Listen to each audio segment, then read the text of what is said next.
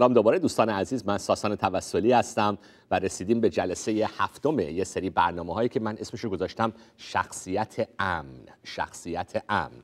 دارم از کتابی استفاده می‌کنم تقریبا با همین تیتر Safe People.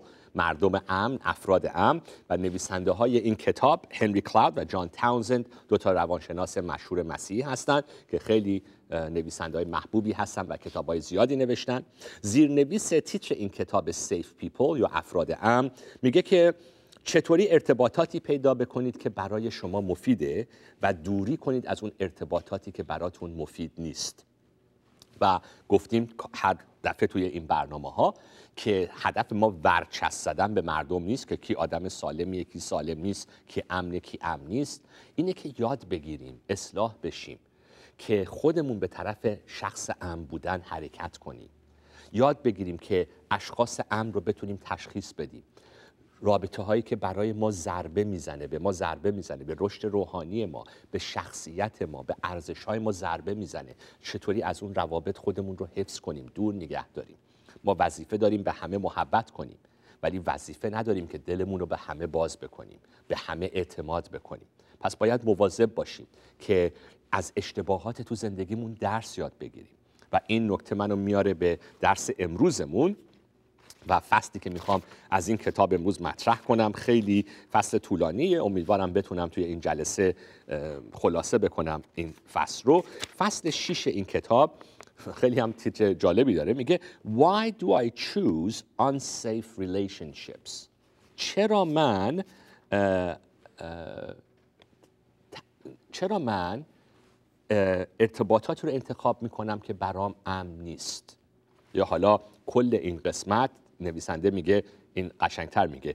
Do I attract unsafe people? به فارسی ساده تر می‌خوام اینطوری بگم. آیا من دائم دارم افراد ناامنی رو به خودم جذب می‌کنم؟ افرادی که قابل اعتماد نیستن افرادی که برای من افراد مفید و خوبی تو زندگی نیستن؟ یا من دارم آیا جذب دوستای بد میشم فضاهای ناسالم میشم ارتباطات ناسالم میشم؟ چرا دائم بعضیا عزیزان دائم توی بحرانن در ارتباطاتشون. دائم با دوستاشون دوستایی دارن که دائم توش تنشه دائم ازشون سوء استفاده میشه دائم توش قلبشون شکسته میشه بهشون خیانت میشه بهشون دروغ گفته میشه. یکی شاید بگه که من اصلا آدم خوششانسی نیستم تو دوست پیدا کردن. نه این ربطی به شانس نداره. باید نگاه بکنیم که آیا شاید یه نقطه کورایی درون شخصیت ماست یه ضعفایی درون شخصیت ماست که باعث میشه که من دائم جذب افرادی بشم که از من سوء استفاده می‌کنن.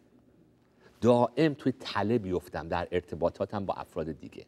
و امروز بحث ما اینه که چرا من دائم تو این ارتباطات ناسالم میفتم البته خیلی از مثالای این نویسنده های روانشناس عزیزان درباره رابطه مرد و زن هست درباره رابطه حالا دوست پسر دوست دختر نامزد شدن ازدواج ولی این رو همه ارتباطات رب داره. ولی خب مثالایی که نویسنده ها می‌زنن بیشتر رب به رابطه مرد و زن و رابطه عاشقانه و دوستی بین مرد و زن داره. و نکته اولی که یعنی اول تو مقدمش نویسنده میگه که می‌خوایم این مثال رو خیلی ملموس بکنیم که چرا ما دائم اشتباهاتمون تکرار مکرراته و درس یاد نمی‌گیریم و دائم تو ارتباطاتی میریم که همون آش و همون کاسه آخرش در میاد. اشاره می‌کنه به یه خانومی که اومده بود تراپی توی یه گروه تراپی و میگفتش که این خانوم میگفتش که من دفعه بعد که ازدواج می‌کنم می‌دونم که امیدوارم ازدواجم خوب از آب در بیاد. و چون تا حالا با نه نفر مختلف بنده ازدواج کردم و همهشون شوهرای خیلی آزاردهنده از آب در اومدن. ابیوسیو میگه کلمه انگلیسیش. همه شوهرا شوهرای آزاردهنده از آب در اومدن. حالا البته امیدوارم هیچکس همچین تجربه نه بار ازدواج تو زندگی نداشته باشه. هدف خدا برای ما یک ازدواج یک مرد یک زن تا آخر عمر. ولی یه نفر بعد توی این گروه تراپی به این خانم میگه نه نه نه شما با نه نفر نه نفر مختلف ازدواج نکردی. نه شخصیت مختلف ازدواج نکردی. شما با یه شخصیت ازدواج کردی که نه تا اسم مختلف داره. یعنی از ازدواج قبلیت که شکست خورده درس یاد نمی‌گیری و دوباره همون اشتباهات رو تکرار می‌کنی در ازدواج آینده. حالا میگم صحبت ازدواج که شد درس فقط درباره ازدواج و رابطه مرد و زن نیست البته ولی به کسانی که طلاق گرفتن. من همیشه نصیحت رو می‌کنم. بنده خودم کاملا مخالف طلاقم و طلاق برای یک مسیحی یک شکسته و باید یک طلاق طلاقی که باید توجیه درست کتاب مقدسی داشته باشه طلاق. نه اینکه من دیگه خسته شدم من دیگه اینو دوست ندارم ما به هم نمی‌خوریم اینا توجیه های طلاق نیست از نظر ایمان مسیحی. حالا پرانتز رو بنده ببندم. ولی حالا اگرم کسی با اون شکست طلاق روبرو شده باشه به اون دوست عزیز باید گفتش که باید یاد بگیری که چه مشکلاتی رو خودت باعث شدی تو زندگی به وجود بیاد در رابطت که باعث شکست اولت شد. که اقلا اگر می‌خوای دوباره ازدواج کنی این شکست رو تو زندگی دوم نبری. این تجربه های اشتباه رو تو زندگی دوم نبری. چون معمولا ما همیشه مشکلات و تقصیر که دیگه میندازیم. خودمون رو تقصیر نمی‌بینیم. دائم تکرار می‌کنیم اشتباهاتمون رو. دائم تکرار می‌کنیم اون ضعفامون رو نقطه کورامون رو عکس های بد و اشتباهمون رو. پس باید یاد بگیریم اگر یاد نگیریم دائم توی این مشکلات روابط ناسالم خواهیم افتاد. حالا پس صحبت ما اینه که چرا من دائم طرف کسانی میرم یا کسانی رو تو زندگیم وارد می‌کنم که آدمای امنی نیستن و آخرش من ضربه می‌خورم. آخرش من شکسته میشم. چند تا نکته رو می‌خوام خیلی سریع تو این درس از این فصل مطرح بکنم. نویسنده میگه نکته اول انگلیسیش میگه inability to judge character. بعضی وقتا ما بلد نیستیم که چطوری شخصیت رو ارزیابی کنیم داوری بکنیم. صحبت قضاوت کردن بیخود نیستا ولی باید بتونیم یاد بگیریم وقتی توی بلوغ شخصیتیمون باید بتونیم یاد بگیریم که یه مقدار شخصیت رو ارزیابی کرد. شخصیت اون دوست رو اون کسی که بهش علاقه من شدیم حالا واسه ازدواج رابطه دوست دختر دوست پسر فرقی نداره. باید نمیشه حالا قلب هر کسی رو خون فکر کسی رو خون نیت هر کسی رو ما اکسری نداره چشمامون تو قلبا نگاه بکنیم. ولی تا یه حدی میشه تشخیص داد که این شخص آیا شهرت خوبی داره رفتار خوبی داره دوستاش کیان سابقش چی بوده آرزوهاش چیه اصلا تو کجا هست تو زندگی؟ و نویسنده مثال میاره میگه که خیلی وقتا ما قلبمون قلبمون و فکرمون رو از هم جدا می‌کنیم. یعنی یکی مثلا عاشق میشه حالا به خصوص میگم حالا صحبت های مثال های نویسنده بیشتر صحبت عاشقی و رابطه دختر و پسراست ولی شاید به درد جامعه ایرانی ما بخوره. که می‌دونه طرف پدر مادر مثلا حالا تو دوست دختر دوست پسری یا نامزدی یا واسه ازدواج پدر مادر دختر میگن آقا این پسر از زندگیش خیلی چیزا مشکل توش می‌بینیم خیلی رفتارهای زشت نمی‌دونم اشتباهات مهم. ولی دختر میگه من عاشق شدم. یعنی به خاطر عشق و عاشقی و احساس قلب رو از فکر و مغز جدا می‌کنیم و خیلی وقتا عزیزان اگر فقط تو زندگی بر طبق احساس جلو بریم خیلی خیلی زندگی رو خراب خواهیم کرد زندگی رو میبازیم. که فقط بذاریم احساسات ما به ما دیکته کنه که من وارد یک زندگی و دوستی عمیق با یه نفر دیگه بشم. پس باید از عقل و شعورم استفاده کرد. باید نگاه کرد. باید با چشمای باز به کل اون شخص موقعیت نگاه کرد. و حکیمانه قدم برداشت. پس این نکته اول. نکته دیگه ای که نویسنده مطرح می‌کنه isolation and fear of abandonment. یعنی حالا میگم من باید خیلی سریع برم تو این صحبت ها ولی خیلی هستن که به خاطر ترس از اینکه ترد نشن به خاطر ترس از اینکه ترد نشن توی یک رابطه بد میمونن. توی رابطه یه رابطه که داره بهشون ضربه می‌زنه. طرف ولی میترسه که من از اینجا بیام بیرون ترد میشم تنها میشم. و حالا مثالی که من تو ذهنم اومد بزنم مثلا اگر فکر کنید که توی رابطه زناشویی شوهری معتاده مس می‌کنه و میاد زن و بچه رو کتک می‌زنه. شاید یه نفر بگه که ولی من اگر بخوام جلوی این شوهر بیستم اون ما رو ول می‌کنه میره. پس من ترجیح میدم تو این رابطه ناسالم بمونم تا تنها بشم. تا ترد بشم. پس ترس از ترد شدن ترس از رها شدن می‌تونه یکی از دل دلایلی باشه که ما توی رابطه های ناسالم میمونیم. فاکتور بعدی یه دلیل دیگه که نویسنده مطرح می‌کنه انگلیسیش میگه defensive hope امید دفاعی. معنی نداره بیشتر وقتی توضیح میده امید کاذب امید علکی. یعنی به امید حالا البته پرانتز می‌خوام باز کنم بعدا به این نکته خواهیم رسید. امید قسمت مهمیه در زندگی مسیحی که ما امید داشته باشیم که خدا می‌تونه عوض کنه خدا می‌تونه کار بکنه. همیشه امید هست که خدا می‌تونه معجزه آسا زندگی یه نفر رو زیر و رو بکنه. ولی امید کاذب امید علکی که یه نفر دائم مثلا زیر قولش می‌زنه یه نفر دائم داره تو رو آزار میده یه نفر دائم داره بی احترامی می‌کنه و اصلا خیالش هم نیست به فکر عوض شدن هم نیست. ولی تو امید داری که یه روز اون عوض شه. ولی این امید کاذبه. امیدیه که به تو یه امیدیه که تقریبا می‌تونیم بگیم تو رو منفعل می‌کنه. امید مسیحی امیدیه که خودت هم آستین بالا می‌زنی فعالیت می‌کنی حرکت می‌کنی و به خدا هم امید داری.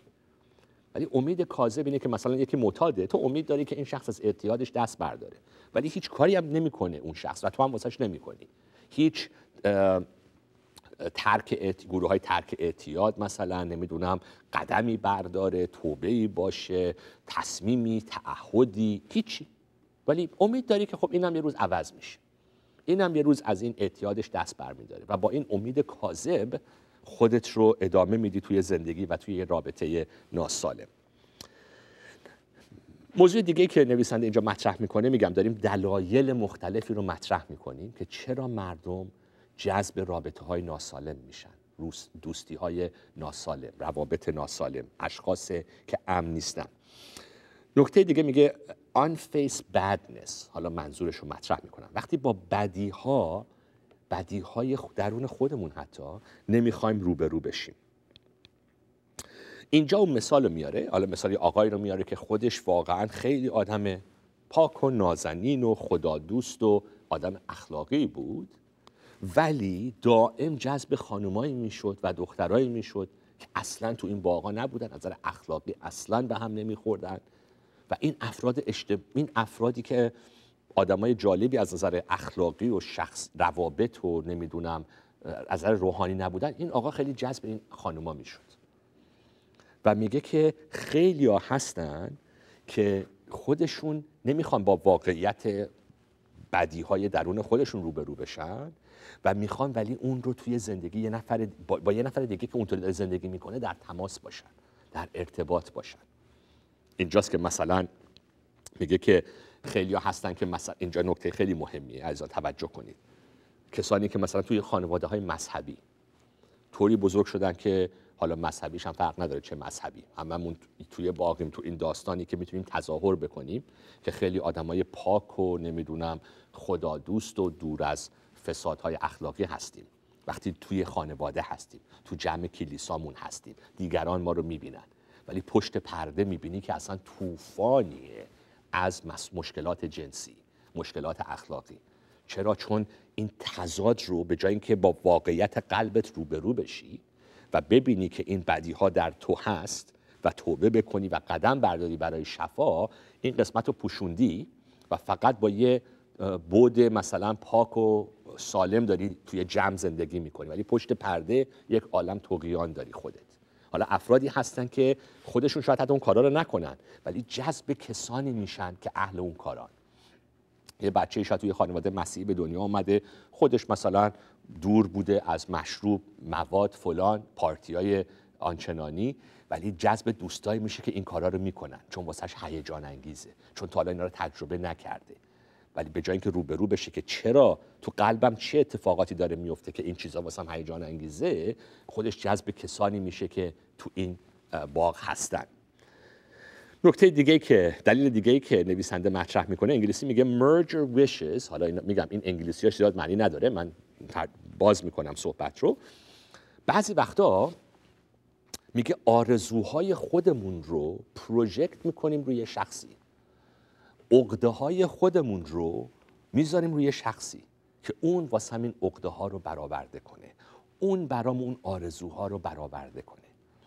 من خودم تو زندگی مثلا حالا مثال یه خانومی رو میاره که با یه آقای آشنا شده بود و دوست شده بود و عاشق شده بود و اون خانوم کمبودهای خودش عقده از زندگی بچگی خودش از رابطه با پدرش تمام چیزایی که خودش کم داشت مثلا از زندگی فقیر نمی‌دونم از پدری که زیاد باش رابطه نزدیک احساسی نداشت.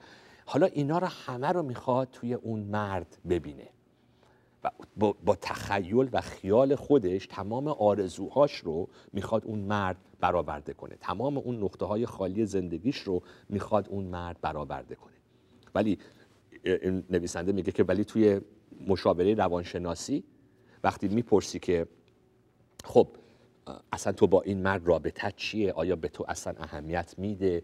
از درون قلب تو آگاهه؟ تو بهش احساس نزدیکی می‌کنی؟ اصلا خانم جوابی واسه این سوالا نداره. ولی اینکه این مرد چقدر موفقه چقدر فعاله چقدر با انرژیه.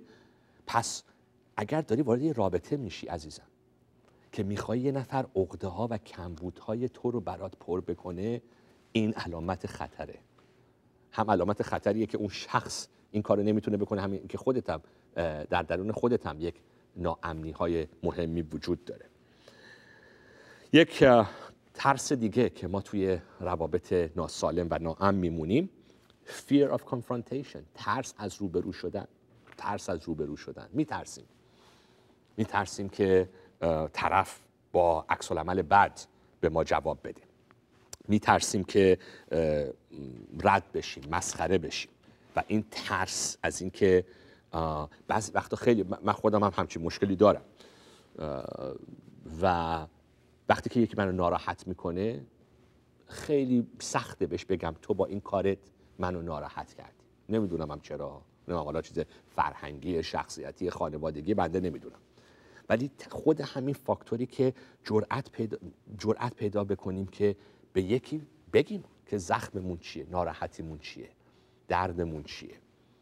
ولی وقتی میترسیم و بعد میترسیم یکی توی یه رابطه دائم داره ما رو ناراحت می‌کنه ضربه می‌زنه و میترسیم بهش بگیم که این حرکت خیلی زننده بود این کار دل منو شکست این کارت باعث دوری من از تو داره میشه. به جای اینکه اینطوری صحبت بکنیم با هم دیگه ماسمالی می‌کنیم بیخیال می‌گیریم. ای بابا نه بابا این حرفا چیه؟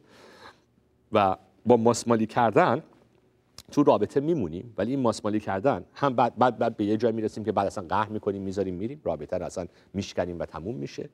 یا توی این ترس بعد عصبانی میشیم تو این رابطه که چرا فلانی نمی‌فهمه با این کاراش داره من ضربه می‌زنه؟ چرا این درک نمی‌کنه این کار رو؟ خب طرف شاید اصلا خبر نداره داره به تو ضربه می‌زنه چون تو میترسی که اصلا باش صحبت کنی. پس ترس از روبرو شدن یکی دیگه از دلایلیه که ما توی رابطه ناسالم می‌تونیم ادامه بدیم. نکته بعدی رومانتسایزینگ یعنی خیلی ایدئالیستی نگاه کردن. با رو توی رویاهای خیلی ایدئالیستی زندگی کردن. دوباره میگم حالا اینجا مثال دختر و پسر رو میاره ولی کسانی که دائم توی عشق عاشقی میفتن. و میگی که خیلی خوب شما مثلا می‌خوای با یکی ازدواج کنی. این شخص اصلا از نظر کار درآمد تحصیلات آینده امکانات. اصلا, اصلا امکانی هست اصلا. نه ولی خب نیازی به چیزی نداریم. با عشق همدیگه می‌تونیم زنده بمونیم. پس این حالا بنده مخالف عشق و عاشقی نیستم. خودم هم وقتی ازدواج کردم یک قرون پول نداشتم. و خدا به طور خیلی زیبایی واسه بنده فراهم کرد حالا نمیگم فقط پول فقط تنها فاکتور نیست اینجا سوء تفاهم نشه. ولی ولی با یه روبرو میشیم با زندگی با واقعیت ها نمی‌خوایم روبرو بشیم. فقط با یک احساس و با یک تصویر ایدئال و رمانتیک ساختن. و اگر کسی تو دنیای آمریکا که هنرپیشه های هالیوود و نمی‌دونم خواننده های مشهور هر یه ماه در میون تقریبا با همدیگه ازدواج می‌کنن طلاق می‌گیرن رابطه های جدید با همدیگه پیدا می‌کنن خب همه زیبا همه جذاب همه مشهور همه موفق همه پولدار همه اصلا همه چیز رو دارن. ولی نمی‌تونن اصلا دو نفر با هم یه عمری زندگی بکنن تو دنیای آمریکا. دائم از این ارتباط به اون ارتباط از این رابطه به اون رابطه از این عشق به اون عشق. چون تو یک دنیای رمانتیک دارن. همش همش دنبال اون احساس عشق اولیه هستن. به جای اینکه یاد بگیرن تو شخصیتشون بالغ بشن. رشد بکنن و با وفاداری با یک نفر تعهد ببندن برای زندگی دراز مدت. نکته بعدی که نویسنده مطرح می‌کنه انگلیسیش نکته جالبی هم هست need to rescue. بعضی وارد رابط های ناسالم میشن چون یک حالتی دارن که دائم می‌خوان یکی رو نجات بدن.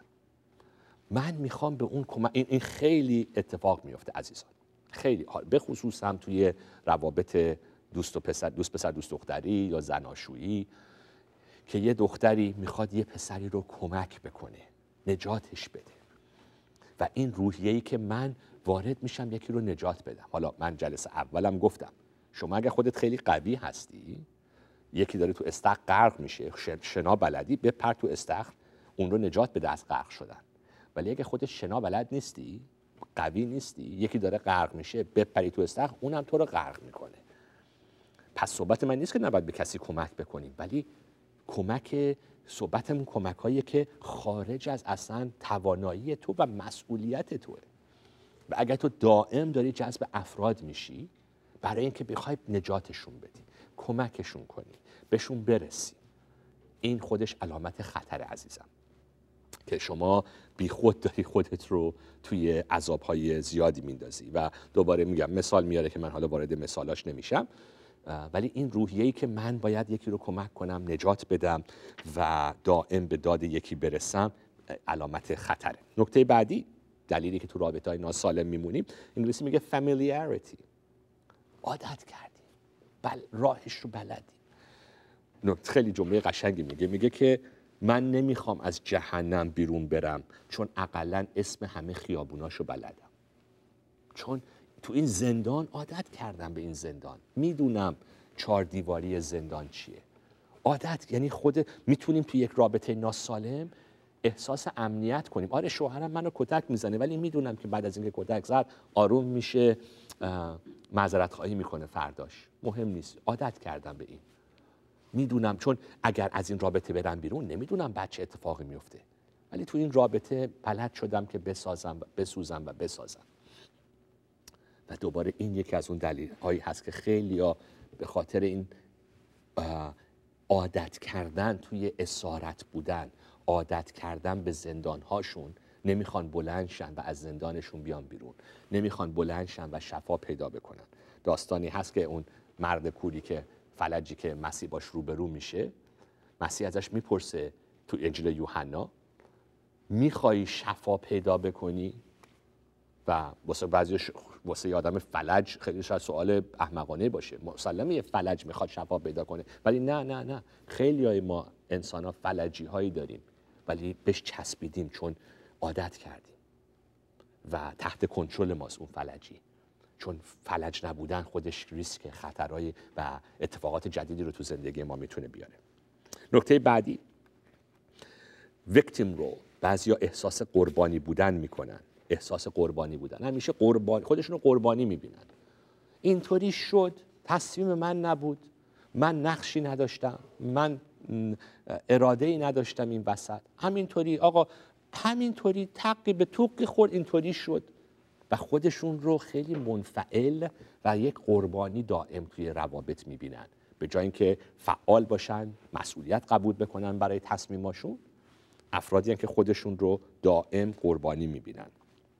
و اینجا مثال جالبی میاره. میگه حالا به خاطر وقت نمی‌تونم وارد مثالش بشم چند تا مثال جالبی میاره که طرف می‌خواد فرار کنه از مسئولیت پذیرفتن و تقصیر دیگران بندازه دائم مشکلات خودش رو. گیلت احساس گناه کردن. بعضیا به خاطر احساس گناه و اینکه درک نکردن محبت خدا رو فیض خدا رو که در مسیح محکومیتی نیست. زود یه نفر می‌تونه با احساساتشون بازی کنه. بگه که تو اگر به من کمک نکنی این گناهه. تو اگر به من کمک نکنی. من یه نفر آدمی بود تو زندگیم خیلی از به من آزار رسوند و ضربه زد و می‌گفت مگه شما مسیحی نیستی؟ مگه مسیح نگفته کمک بکن و خدمت بکن؟ مسیحی بودن به این معنی نیست که بنده اجازه بدم یکی دائم از من سواری بکشه. و بعضی ولی بعضی خیلی زود احساس گناه بهشون دست میده. که نه نه پس حتما طرف راست میگه. من به عنوان مسیحی نباید هیچ وقت به کسی نبگم. هیچ وقت مقابل یکی بیستم. هیچ وقت همیشه باید بگم بله همیشه باید کمک کنم. نه اینطوری نیست. و یه نفر به خاطر احساس گناه می‌تونه خیلی تو تله یه نفر دیگه بیفته که با احساسات اون شخص داره بازی می‌کنه.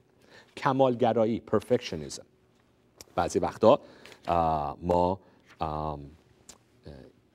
مثال یه نفر میاره که یک تصویر کمالگرایی از خودش داشت و به خاطر اینکه این تصویر رو حفظ بکنه مثلا به دوستاش می‌خواست بگه من خیلی پول دارم خیلی اهل خیلی راحت خرج می‌کنم و می‌برد دوستاش رو رستوران چون نمی‌خواست کسی بدونه که مشکلات مالی داره و یک عالم توی قرض مالی افتاد به خاطر جست اووردن به خاطر اون تصویر کمالگرایی که از خودش ساخته بود.